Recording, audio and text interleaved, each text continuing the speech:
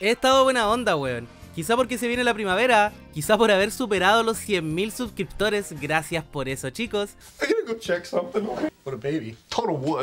No lo sé, pero he andado bien feliz. Por lo mismo, no había querido hacer tantos videos destacando, como siempre, la inusitada cantidad de 190 millones de kilos de caca que nos regala la televisión chilena. Porque puta, yo de verdad había pensado que con el Festival de Llantos, pedidas de perdón, reflexiones y lágrimas de cocodrilo que vimos para el estallido social por parte de la televisión, en un espectáculo bien triste te diré. Esto ha sido una gran catarsis, pero por lo general no nos expresamos como queremos habían reflexionado de verdad, weón. Habían, no sé, pensado sobre la enorme cantidad de... Miles de kilos de caca. Que llevan siempre las casas chilenas todos, todos los días. Pero no, no aprendieron nada. Ahora tenemos de vuelta dos realities, programas de farándula, cagüines por todos lados y ahora ya lo lograron. Lograron que el varón se volviera a enojar, weón. ¡Por la chuncha!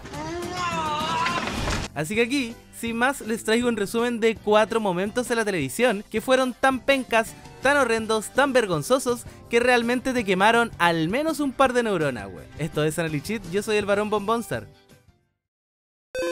Número 1, Miguelito Peleón. Bueno, esto fue hace no mucho, pero me acordé porque el canal 13 lo va a llevar a su reality. Onda, hermano, ¿cómo le pueden seguir dando oportunidades a una persona que claramente tiene un desequilibrio? ¡Por la chuncha! Miren, te voy a contar una historia bien rápido. ¡Ay, qué interesante, March! Cuéntamelo todo. Resulta que en el 2022, el año pasado, Miguelito fue invitado por TNT Sports a comentar en un panel de hinchas el clásico entre Colo Colo y la Católica siendo este último equipo del que es hinchita el Miguelito. Y bueno, no conforme con haber protagonizado la peor serie en la historia chilena, Miguelito Paola, que bodrio más grande, cuyos chistes no es que te quemen neuronas, loco, sino que de partida te funden el cerebro. ¡Hijo! Ay, ¿qué pasa, mami? Que uno no pueda estar concentrado. ¡Por la chuncha! Junto con todo esto, Miguelito ahora caldeó una pelea en la barra. O sea, no seamos injustos, Miguelito es incapaz de provocar una pelea, nadie se lo tomaría en serio. Solo que se sumó a una que ya estaba empezando en las galerías y con un comentario bastante conciliador en vivo. ¿Para qué permiten entrar a los huevones a Colo Colo acá? Son los problemas. Empezaron a provocar, ellos empezaron a provocar. Y el miedo de Rubio él empezó. Ahora se corre el maricón. What the fuck is this? I don't know. Mostró su poco profesionalismo, weón, y demostró que nunca más debería haber sido invitado a la televisión. No solo eso, ah, sino que después de haber sido echado de la cabina, bajó a pelear, sí, a pelear, weón, con un hincha de Colo Colo al cual se lo quería boxear. Y mira cómo lo sacan en brazos de hermano. Me estáis weyando, me estáis weyando hace rato. No, absolutamente desequilibrado y totalmente basura. La televisión no aprende, weón. Ahora es el rostro estrella de un reality. Miguelito debería, por lo menos, estar vetado durante harto tiempo de la televisión, pero anda a explicarle esto a los productores de los programas. Oye, a todo esto no es que siempre andan rogando porque no haya más violencia en los estadios y quieren una sociedad que sea más unida. Seamos consecuentes, po. Aunque sea una vez les pido. Si ya sé que ustedes no pueden serlo, pero puta, inténtenlo, weón. Número 2. Un documental censurado en el siglo XXI. Esto es súper cuático porque estamos hablando de censura, como dije en el título, muy reciente. Sí, ustedes me dirán, pero la televisión siempre miente. Esto no es nuevo, ¿de qué me habláis, weón? Si siempre censuran y transmiten lo que ellos quieren y todo eso. Yo te voy a decir que sí. Sí. Puedo estar de acuerdo con lo que me dices hasta cierto punto, porque este nivel de censura que te voy a presentar creo que no se había visto en la televisión chilena hace mucho tiempo y creo que no se ha vuelto a ver. No. Mira, te explico. En el 2007, TVN iba a emitir el documental chileno llamado Epopeya, que contaba una versión más moderna, más conciliadora y abarcando historiadores de todos los sectores políticos de la Guerra del Pacífico. Sí, la guerra que enfrentó a Chile, Perú y Bolivia. Y preguntamos a los chilenos por qué empezó la Guerra del Pacífico. Fue instigada por la clase dueña de la salitrera. Básicamente por la salitrera en el norte. Pero esto es tremendo. No solo eso, sino que además presentó testimonios de jóvenes de los tres países involucrados en esta guerra, para hacer una suerte de contraste entre cómo ha ido cambiando la significancia de este conflicto bélico en las distintas generaciones de los países beligerantes. La cosa es que a Perú no le gustó que se desmintieran muchas de las cosas que ellos enseñan sobre Chile. ¿Qué?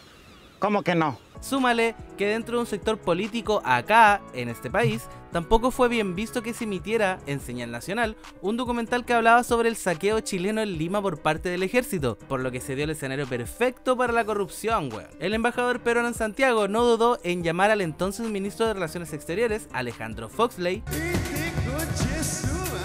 para pedirle que por favor no se emitiera un documental, así que este último intercedió en TVN, llamando por su parte al que era presidente del canal estatal, Francisco Vidal. Y todo esto dio como resultado que el documental se aplazara y no se emitiera en la fecha que se tenía previsto. Sí, hermano, por un telefonazo de un político se sacó un programa de pantalla.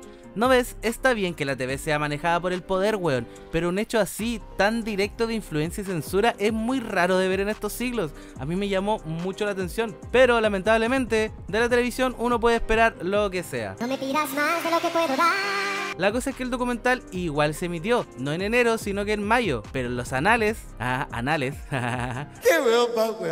de la historia quedará esta censura para siempre. Se pasan verdaderamente a caca, loco.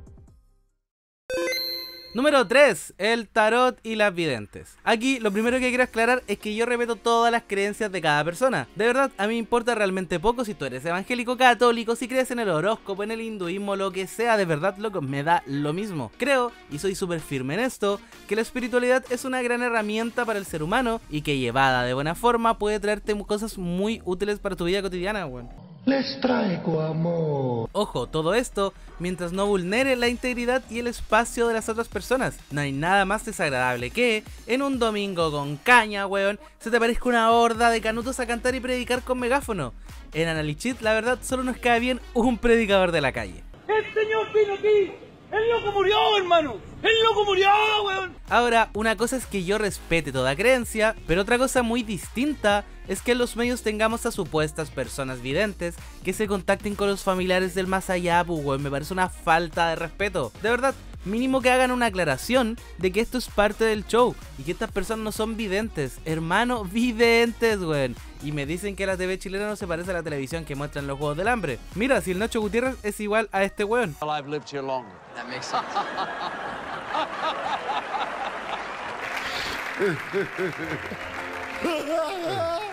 O sea, yo siempre he encontrado que es una irresponsabilidad tener a gente leyendo el tarot en las mañanas sin advertir que eso es con fines lúdicos y recreativos, puesto que hay gente que realmente se la cree y se sugestiona, po. O gente que dice no creer en nada, pero escucha el horóscopo y empieza a pensar qué pasa si tiene razón el Pedrito Angel. Mira, nada contra Angel, me cae bien, transmite paz, es un viejito buena onda, de verdad, ningún problema. Pero nada cuesta poner un avisito ahí al comienzo de la sección de que tome con pinzas esta información, pues weón. ¿Por qué está sufriendo esa persona? La veo con carencias. Hermano, ahora, si tú crees que realmente esta gente habla con los muertos, ¿por qué esas personas no han revelado grandes misterios de la humanidad? Hablado con las grandes mentes para que revelen cosas que nunca pudieron comentar al resto en su vida porque se interrumpió. O saber cosas que famosos se llevaron a la tumba que tanto le interesa a la farándula. Piensa la cantidad de aplicaciones que tendría si alguien pudiera realmente contactarse a ese nivel con los muertos. ¡Por la chuncha! Yo no tengo nada en contra del show, no me digan fome, pero al menos adviertan que es un show. Ay, ay, ay, ya, me enojé porque de verdad no entiendo por qué tengo que debatir esto, weón. ¿Cómo tengo que debatir si es que existen o no videntes? De verdad me parece enfermo, me llega a dar cringe. Número 4. Acentos de Amaro Gómez Pablo. Hablando de weas que me dan cringe. ¿Por qué Amaro Gómez Pablo habla así, weón? Y yo quiero compartir eh, con ustedes eh, escasamente unas, eh, unas palabras. ¿Por qué habla así? Onda, sí, su papá es español máximo, eso es verdad, y su madre es chilena, por lo que es efectivamente un hispano chileno. Y la gran parte de su vida la vivió acá, estudió en el colegio acá, en la universidad acá, trabaja acá, y de hecho, en los 80 hablaba más como chileno que ahora. Aprendido a bailar perfectamente la cueca. Absolutamente, y a tomar chicha también. Pero hermano, ahora es prácticamente Pablo de Casado con Hijos que nació imitándolo, pero ahora pareciera que Amaro Gómez Pablo imita su propia imitación, weón. No te desconcertemos con cosas de etnia y cosas así. Y entonces Wow. lo que pasa además también es que me, me- me embarga esta pena. ¿Por qué habla así? Sin duda, este tipo es el rey del cringe en la televisión chilena y un tipo que si lo escuchas definitivamente eres menos inteligente frente a antes de escucharlo, weón. Además de que nos regaló uno de los momentos más icónicos de la televisión. Miren cómo lo mean en vivo, weón. ¿De qué manera es esto un artículo? ¿De qué manera es esto algo de primera necesidad? Esto es robo. Sos un botón. Amémonos a escondida, nena. Además que también se trata de pasarlo bien. siempre la misma weá. Hey, no te vayas todavía. Si te gustó aunque sea un 1% este video, tú ya sabes, no olvides dejar tu like, comentar y suscribirte. Y comentar aunque sea tu cabra, tu gran cabra escalacantilados. Muchas gracias por los 100 cabros. De verdad, no puedo estar más agradecido y todavía no me creo que tenga 100.000 suscriptores en este canal y que 100.000 personas hayan confiado en este proyecto. Nos vemos en la siguiente, muchas gracias por estar aquí. Besitos. Ya jóvenes, ha sido un agrado conversar con ustedes. Me marcho. Ciao ragazza. Chao.